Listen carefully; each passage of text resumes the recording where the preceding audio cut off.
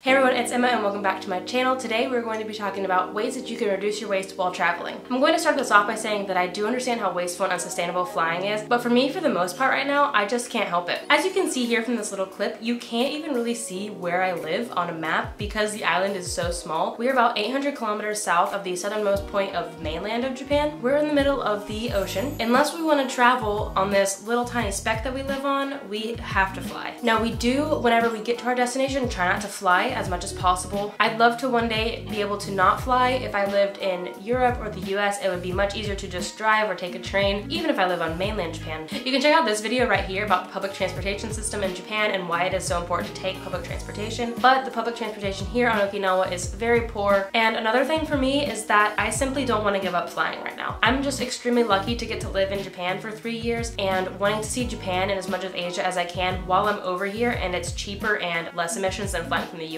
I really want to take advantage of that. I guess that kind of puts it into perspective. For me, it would just be a lot less emissions than if I waited to move back to the US and then fly to Asia. I'm not just gonna sit over here for three years without visiting my family. It does pain me that I have to travel that far. I don't even want to say it. It's 14,000 miles round trip. I hope you appreciate my honesty and that I do try to eliminate my emissions as much as possible, but for now it's just not feasible and practical for me to give up flying. A little disclaimer, sorry for all the noise. You can probably hear my animals out there, as well as the construction. I will insert a clip. They're literally tearing up our entire neighborhood. And one more thing before we jump into this list, I think traveling is very, very valuable. So you can read my full blog post, I'll leave it linked down below, about why I continue to fly. The beauty of what the earth has to offer is what inspired me to go zero waste, low waste in the first place. While I understand that flying is one of the worst things that we can do, I try to do it as minimally as possible. So I'm here to encourage you to fly as little as possible, but I can't be one to tell you to give up flying because I still fly myself. Life is meant for experiences and meeting people and trying new things and seeing new things, and I don't want the idea of being flight free to hold you back from living your life to the fullest and seeing everything that this world has to offer. But I still want to encourage you to fly as little as possible, take advantage of trains and buses, and then we'll dive into this entire list and to show you different ways that you can travel to reduce your waste, other ways than just quitting flying. That's the idea behind this video, to inspire you to keep traveling but do it in a more sustainable manner so that we can continue to preserve our earth even through little steps. So the first category we're going to talk about is reducing your waste while flying, and the first tip I have for you is to pack light. If you missed one of my recent videos, you can check that out right here. In that video, I talk about how to pack light and why you should pack light and why that is important for your environmental footprint. Planes require more fuel when the planes are heavier, or rather, they burn more fuel when they're heavier. So the less you pack, the less fuel that the plane burns. It looks really minuscule when you're just doing it yourself, but the way that I like to look at it is imagine if all 500 passengers reduced the weight of their bags by 10 pounds. 500 passengers times 10 pounds, 5,000 pounds.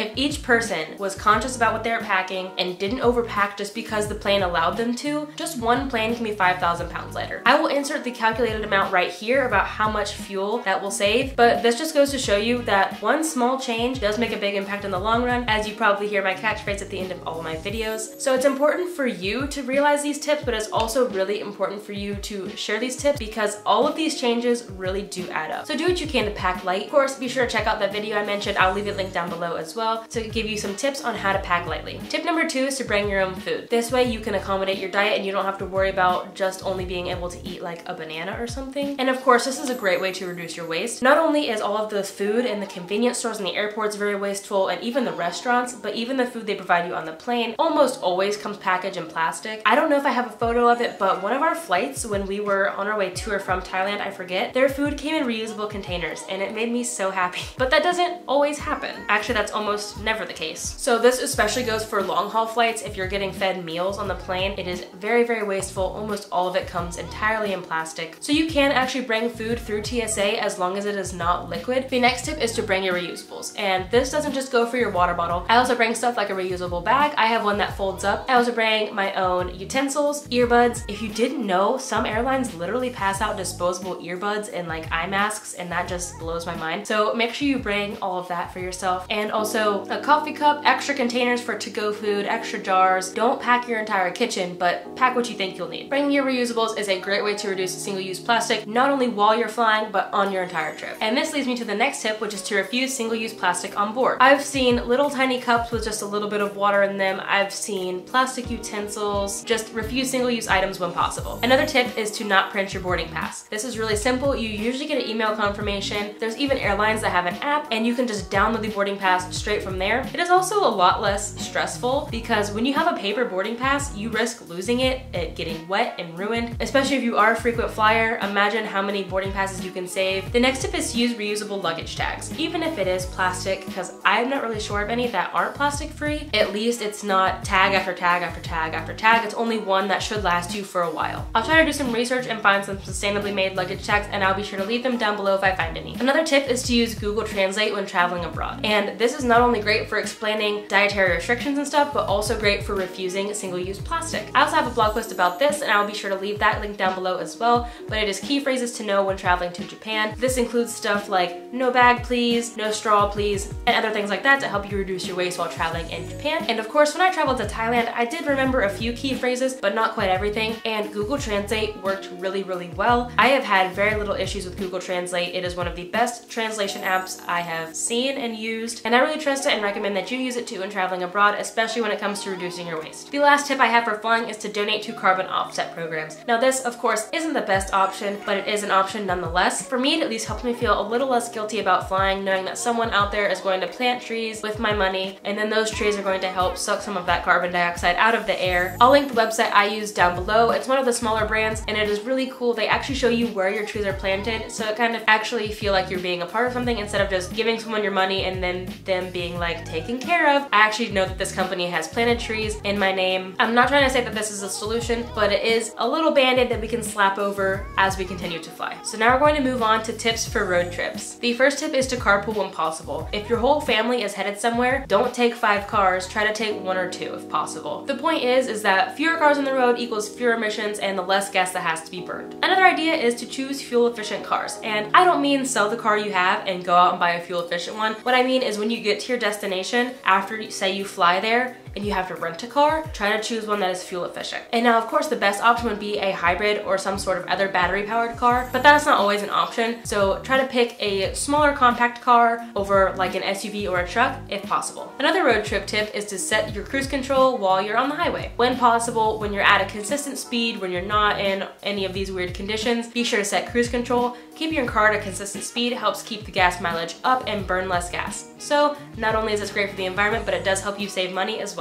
So there are not very many tips for road trips, but I do have a lot of other tips. So we will go ahead and jump right into all of the other tips that I have for helping you reduce your waste while traveling. The first one in this category is to eat before you go. This is just really simple because it helps you avoid eating at restaurants or eating on the plane. A lot of these things are very wasteful and you can prevent that by eating at home before you go. Now, of course, I have been caught in a pickle where I have been traveling like during lunch or dinner time, and that's really inconvenient. So what I do during those times is I just eat a little bit before I go and then I pack something to eat for lunch on the Some added bonus is it'll also help you save some money and help you from going hungry mid-commute. And like I already mentioned, food in an airport, in a bus station, in a subway station is gonna be very wasteful and probably packaged in a lot of plastic, so it is best for you to just eat what you can at home before you go. And again, like I already mentioned with the flight, be sure to bring your own meals with you. I only mentioned it before in the flight category because I wanted to touch on the TSA bit because not very many people know that you can take food through TSA, but this is important with all aspects of traveling. This just saves money on your trip, it helps you avoid extra stops, and of course it helps you avoid a lot of waste because a lot of food while you're traveling can be packaged in plastic and very wasteful. And your only limitation when flying is your food can't be a liquid, so something like soup, but when you're driving or taking a train or a bus, you really have any option that you want. The next tip is to take public transportation when possible. Like I already said, I made an entire video about this. I'll be sure to link that down below. So whenever you get to your destination, whether you're taking a road trip or flying, be sure when you get there to take public transportation when possible. Things like buses and trains are just a great way to get a lot of people onto one vehicle and get more cars off the road. Not to mention, a lot of trains actually run off of electricity, which saves even more emissions. And of course, public transportation isn't available or even great in a lot of areas. I know this can be the case especially in the US. There are a lot of places that have great public transportation systems, so be sure to take advantage of those when you can. Going along with that, be sure to get transportation passes. And what I mean is instead of getting a little ticket stub wherever you go, get a card or an annual pass. This way you can avoid getting countless little ticket stubs and use this pass throughout your trip. Getting one of these passes can be a great way to reduce your waste. Not to mention this allows you to freely use public transportation whenever you want. I know the one in Japan lets you use it on trains, taxis, buses, and even in some convenience stores. It just allows you to have a lot more freedom when you're traveling. So now we're getting into some accommodation type tips and the first one I have is to put up the do not disturb sign at your hotel. So most hotels wash the bed sheets and towels and other stuff once a day or once every two days. And if you're staying there for an extended period of time, that can get really wasteful. So this way that the hotel can reduce their electricity and water consumption. It allows you to not have to put your stuff up every single day and reduces your risk of people messing with your stuff. Another tip along with this is to stay at smaller accommodations, whether this just be smaller hotels instead of chains or even Airbnbs. This is because these places tend to not do wasteful practices like hotels do, like serve a lot of things packaged in plastic and wash bed sheets every single day. These places also tend to not use the little tiny shampoos that are probably just disposed of at the end of your stay. They also require less water and electricity to run. And of course, this is just a benefit to the direct economy instead of supporting big wasteful hotel chains. Going along with that, be sure to bring your own toiletries. The little tiny things that they have at most hotels are just so wasteful for many reasons. One, I highly doubt they keep those in the room for the next guest, whether they're brand new and unopened or not, just because that can be considered unsanitary. Two, they only really get you about one or two uses. So if you're like washing your hair every single night for a week, you're gonna need to get like four, five, six of them. Bring your own toiletries to reduce the single use ones that the hotels give you. Still on the theme of toiletries, the next tip is to just refill your toiletries at home. Instead of just using your little baby tubes of toothpaste and other stuff like that and then throwing it out and getting a new one, just refill it. So the toothpaste one is a bad example. That one's really tricky to do, but it is possible. And I've been doing it for like years now. I've had this same tube of toothpaste for almost three years. I just keep refilling it and Dan and I both use it so we only have one travel size toothpaste. This can go with all of your toiletries, toothpaste, shampoo, conditioner, mouthwash, body wash, I don't know. What other toiletries are there? I guess like the only one that you couldn't really refill is deodorant. So especially if you are a frequent traveler, this is a great way to reduce a lot of waste. Another tip is to just take your recycling home with you so that way you can recycle it properly. Most hotels don't have a recycling option, they just have a trash can in your room. Some Airbnbs might recycle, airplanes probably don't recycle. Worst comes to worst, if you have a plastic bottle or a can, throw it in your bag if you have the room and take it home so that way it can be properly recycled. I mean, that kind of goes with all the tips. Do what you can and don't stress out about it. Another tip I have is to bring digital entertainment or other entertainment that you already have. So try to avoid those kiosks in an airport, try to avoid the entertainment section of a gas station when you're on your road trip. Magazines, books, and stuff like that are probably not that great and are probably just gonna get thrown away. An easier that you can pack entertainment that is very compact is to do it digitally. Things like an e-reader, you can even get ebooks on your phone, podcasts, Netflix, you can download YouTube videos, all that stuff makes it really easy to have entertainment while you travel. But if you still like paper books, just bring one that you already have. So this way you're not buying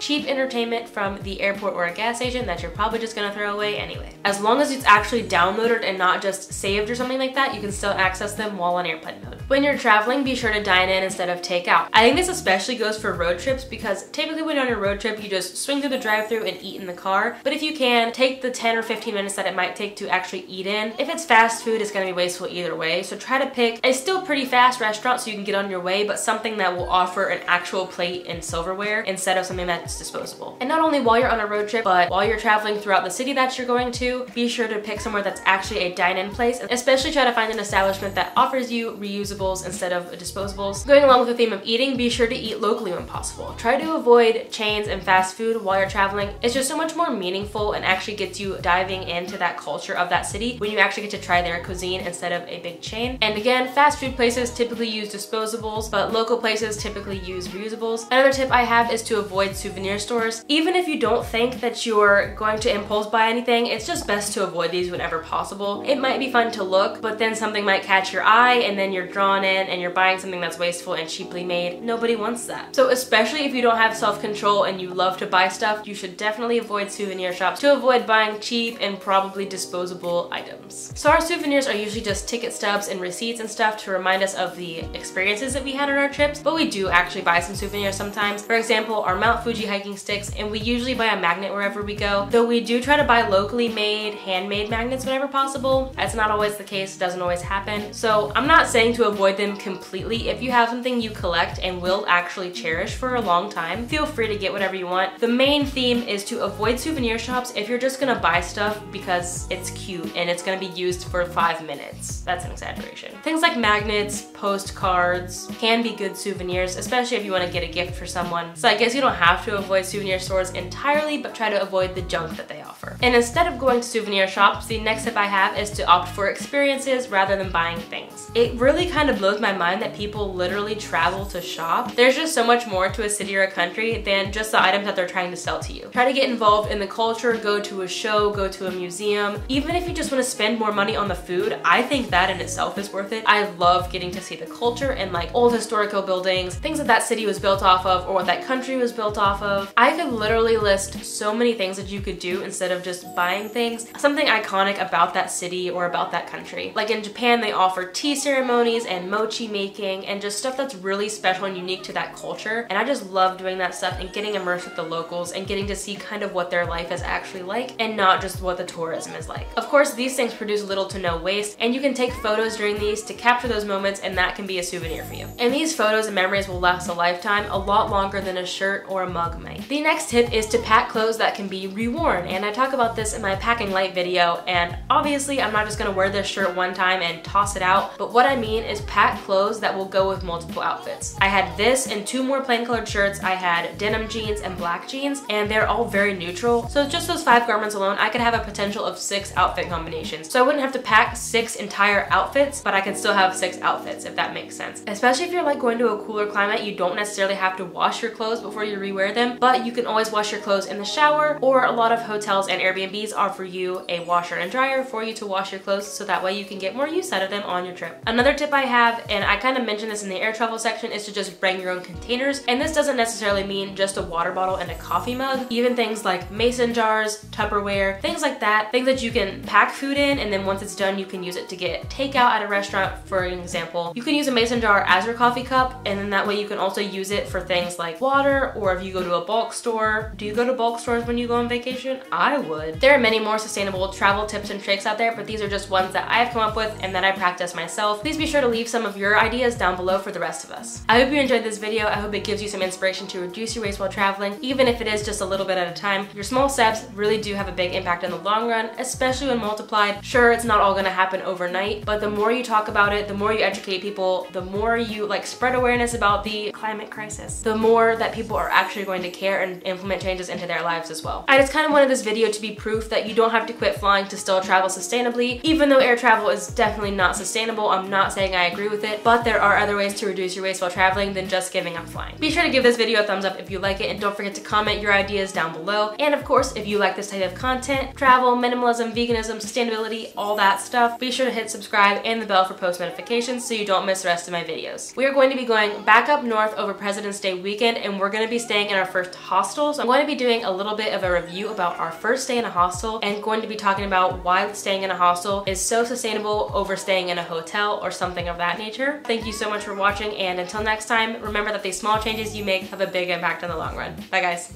Usually I can see a timestamp. Has this been recording? Actually, let's stop it right there. I think, whoa, whoa, whoa, whoa. Do they all call it TSA? What's TSA stand for? Probably save some money because Air Force food, Air Force food. What? If it's for the good of the earth, then carpool. Another idea, whoa, why, why? Public transportation systems? That was really fast. Yeah. Oh yeah, I mean, offer to buy. I knew I couldn't do it.